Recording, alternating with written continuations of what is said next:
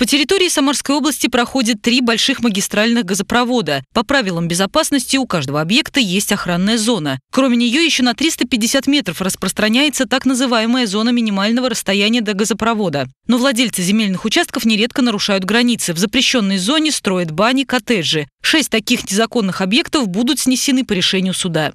Но мы при этом понимаем, что каждый снос – это рост социальной напряженности. Нам надо очень тщательно взвешивать э, вопросы предоставления земельных участков.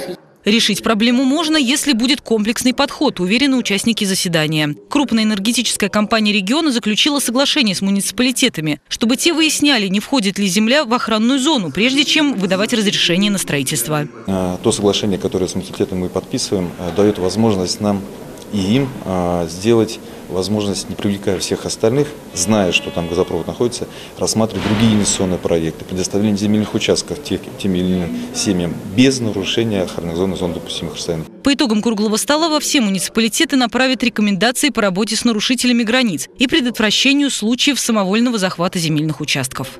Лариса Шлафаст, Сергей Баскин. События.